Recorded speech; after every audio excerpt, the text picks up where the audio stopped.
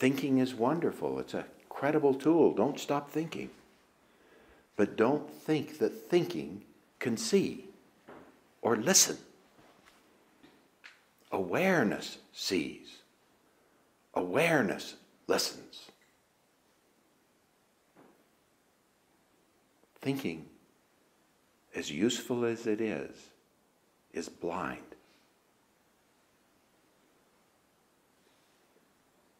Sorry. and feeling.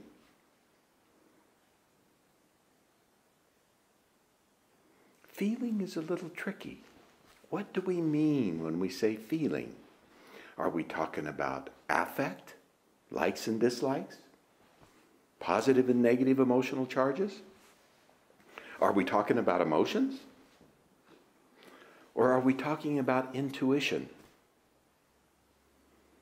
It's not clear. It means all of those things. So there's nothing that we can point to when we say feeling. We can't say, this is feeling. This is a book. So we have to be very careful. Language is important. Language is important.